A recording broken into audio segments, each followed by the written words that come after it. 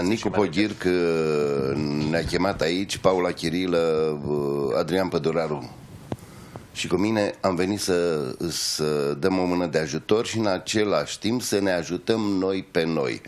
Ne-am smuls parte, ne-am smuls din București, pentru că relația cu București este foarte puternică în continuare, dar Teatrul din Pitești merita o reprimenire. Un refresh așa. Nu un refresh așa. Extraordinar. Și mă simt bine, bine, bine mă simt aici. De asemenea, Bebe Cotimanis ne-a declarat în exclusivitate că Teatrul Piteștean va intra în renovare. Va intra în renovare și va arăta cum nu vă puteți închipui. Extraordinar. Nicu mi-a spus că va avea la sala studio, sala de sus, se ajunge foarte greu.